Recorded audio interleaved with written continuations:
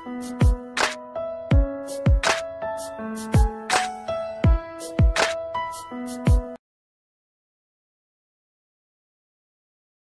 आज मैं आपको सिखा रही हूँ ब्लैक पेपर चिकन बनाना। तो इसमें हमें जिस चीज़ की ज़रूरत पड़ती है, वो मैं बताती हूँ आपको लेमन वाटर चाहिए इसके अंदर। मुझे जितनी इसमें ज़रूरत होगी, मैं आपको बताऊँगी कि इसमें कितना डालना है। लेमन वाटर चाहिए और मेरे पास टू के जो है चिकन है। ये इसका अच्छी तरीके से इसको साफ़ करके इसका पानी, जितना भी चिकन का पानी है, डाल दें किसी छलनी में ताकि उसका पानी निकल जाए। फिर उसके बाद बनाना शुरू कीजिएगा, इसमें पानी ना हो, चिकन खुश्क हो। और इसमें हमने लिया है, मैंने one tablespoon salt teaspoon one T one T spoon salt लिया है। आप देख के डालिएगा, जितना आपको मतलब डालते हैं उस हिसाब से डालिएगा। और इसमें ब्लैक पेपर है मेरे पास सिक्स टेबल स्पून तो ये हो गया। अब गरम ये है हमारे पास गार्लिक है। गार्लिक जो है, इसमें जंजर नहीं है, खाली गार्लिक पेस्ट है। वन टे वन एंड हाफ़ टे टेबल स्पून इसमें ये चला जाएगा। तो मैं आपको बताती हूँ। अच्छा अब मैंने क्या करना है कि छुरी से ना, पहले सारे चिकन के ऊपर छुरी से हम टक लगा लेंगे। इस तरह आपने जैसे तिक्के में लगाते हैं, इस तरीके से आपने इसमें लगा देना है। ताकि ये होगा कि मैं अभी तो मसाला लगा रही हूँ, मगर मैं इसको जैसे सुबह के टाइम लगा रही हूँ तो मैं इसको शाम तक शाम को कुक करूँगी। मतलब चार पाँच घंटे इसको दे दें, ताकि उससे ये होगा कि इसके अंदर बोटी तक आपका जो वो है फ्लेवर है, चला जाएगा, काली मिर्चों का लेमन का। तो ये मैं लेमन वाटर यूज़ कर रही हूँ। आप चाहें तो नींबू का पानी जो होता है फ्रेश लेमन का वाटर जो होता है, वो भी यूज़ कर सकते हैं। इस तरह सारी चीज़ों पे हम इसमें कट लगा लेते हैं। मतलब मैं आपको इस तरह से दिखा रही हूँ, ताकि आपको पता चल जाए कि बस ये सारी छुरी को और इतना भी ना हो कि बोटी टूटने लगे। बस ऐसे ऐसे दो दो मारें ताकि वो अंदर, जैसे बस टिक्के की तरह करते हैं। मर्ज़ी है आपकी कि आपने बोटी का साइज़ क्या रखना है।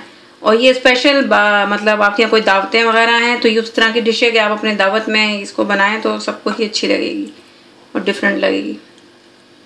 हमारे यहाँ तो दावतों में ही बनती है तो फिर मैं इस तरह ही सारे पे टक लगा के आपको दिखाती हूँ। जी मैंने इस पर सारे पे टक लगा लिए हैं। अब हमने क्या करना है कि इसमें जो one and half tablespoon garlic है, ये हम इसमें डाल रहे हैं। Six tablespoon black pepper हैं इसके अंदर। घबराइएगा नहीं, क्योंकि ऑयल बाद में हम जब बनाएँगे तो ऑयल में बनाएँगे तो इसमें मिर्चों का इतना कोई पता नहीं चलेगा। इसमें ग्रेवी नहीं होती है, ये ऑयल होता है और बस ये चिकन होता है तो उसी में खाया जाएगा। अब आपने नमक जो है, वो आप अपनी मर्ज़ी से डालिएगा। देख लीजिएगा, वैसे वो बनने में भी डल सकता है, अगर कम हो तो कोई मसला नहीं है। 1 tablespoon. 2 tablespoon. 3 4 5 6 7 सा टेबल स्पून इसके अंदर चिकन वो वाटर चला गया लेमन वाटर अब इसको अच्छी तरीके से हम मिक्स करते हैं। हाथ से कर लेती हूँ ताकि इसकी मिक्सिंग अच्छी हो। इसको सबको मिक्स करके लहसन को, काली मिर्चों को।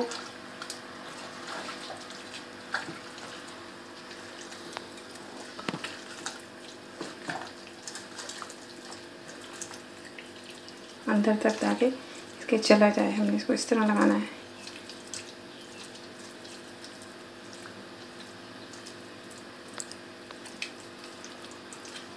काली मिर्चियों का मसाला ही बन जाएगा तो इसमें कोई मसला नहीं है, ज़्यादा कम और कोई भी तीन मिर्चें नहीं लगती हैं।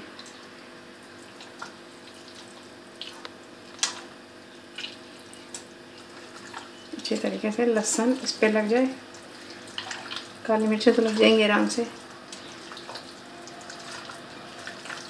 इस तरह से हम मिक्स करके इसको अच्छी तरह बोटी को रगड़ दबा दीजिएगा, ताकि अंदर तक उसके मसाले चले जाएँ। देखें जैसे तिक्के में वो, वो होता है इस तरह के मैंने कट लगाए हैं इसके ऊपर। ये देखें।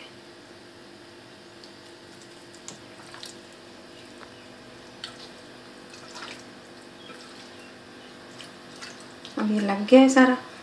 लगने के बाद इसको हम कवर कर देते हैं। और मैं रखती हूँ इसको मैक्सिमम चार से पाँच घंटे आप मतलब ये आप चाहें तो आप अभी भी बना सकते हैं, लेकिन रखने का फ़ायदा ये है कि जितने भी इसमें हमने स्पाइसेस डाले हैं लेमन वाटर है ब्लैक पेपर है गार्लिक है, उसका अंदर तक टेस्ट चला जाएगा चिकन के अंदर मीट में। तो फिर जैसे ये मेरे छः सात घंटे बाद मैं इसको फिर बनाऊँगी तो मैं आपको दिखाती हूँ। हाँ जी, ये देखें मैंने इसको सुबह मैरिनेट करके रखा था। अब जो है, ये इतने घंटे इसको गुजर गए। तो ये देखें इस टाइप का हो जाएगा।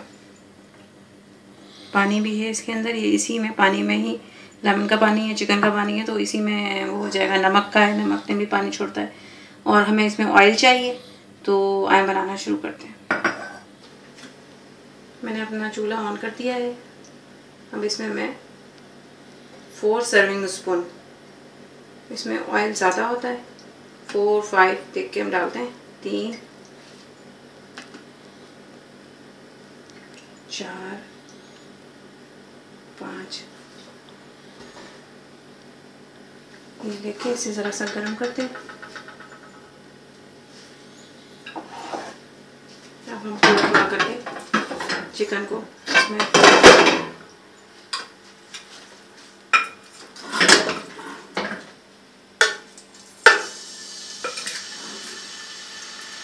इसकी आँच अभी मैं हल्की कर देती हूँ ताकि मैं डाल लूँ चिकन। बबलिंग्स ना हो, इसमें उड़े छीटे नहीं उड़े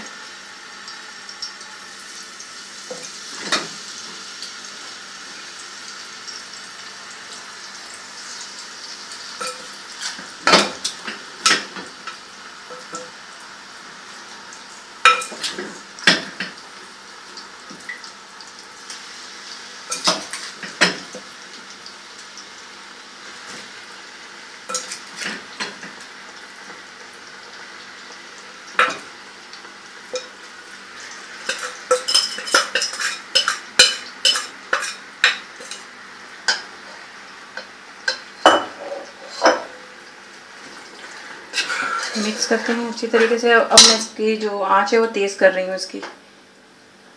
हाई पे कर दिया मैंने फुल कर दिया इसकी ओवन की स्पीड अब इसको ज़रा सा इसमें, जब तक इसमें बबलिंग नहीं आ जाएगी, जब तक इसे हम कवर नहीं करेंगे।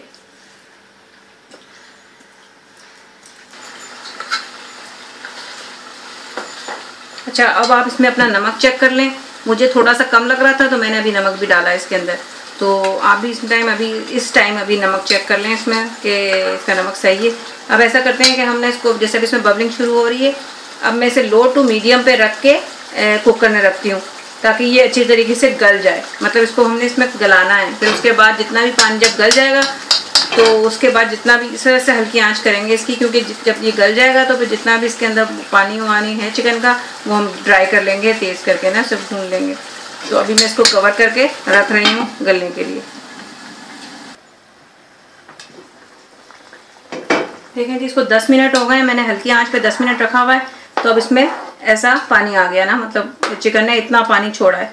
अब मुझे इसी पानी में ही इसको गलाना है। मैंने कहा, मैं आपको बीच में दिखा दूँगी, इसने देखें पानी कितना छोड़ा है। तो इसी तरह अब मैं दोबारा इसको कवर कर रही हूँ और लो टू मीडियम पे ही इसको हमने कुक करना है अभी, ताकि ये गल जाए। गलने के बाद फिर मैं आपको दिखाती हूँ।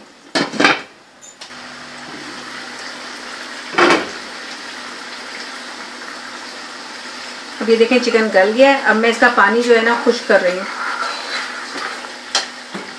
क्योंकि इसमें ऑयल ही है, पानी अब ज़्यादा नहीं है। इसी में ये पकी है ऑयल में ही। अब इसको अच्छी तरीके से मैं इसका जो भी पानी है, इसका खुश करती हूँ, फिर मैं आपको दिखाती हूँ। देखें, इसका पानी जितना भी है, सारा ड्राई हो गया है। अब जैसे ऑयल ऊपर आ जाता है, भुनने लगा है अब मैं इसका फ्लेम ऑफ़ कर रही हूँ और डिश ऑफ़ करके दिखाती हूँ आपको। जी, देखिए, मैंने गार्निश कर लिया इसको कोरिएंडर के साथ और लेमन के साथ। वैसे इसमें लेमन डाला हुआ है, लेकिन अगर आप डालना चाहें तो लेमन डाल खाएँ। इसको घर की चपाती के साथ बहुत मज़े की लगेगी ये। और मुझे बताइएगा ज़रूर कि आपको ये कैसी लगी। बनाइएगा और बताइएगा। और दुआओं में याद रखिएगा, चैनल को सब्सक्राइब कराएँ, लाइक करें ताकि मुझे पता चले कि आप वीडियोस को पसंद कर रहे हैं। और thank you you watching the video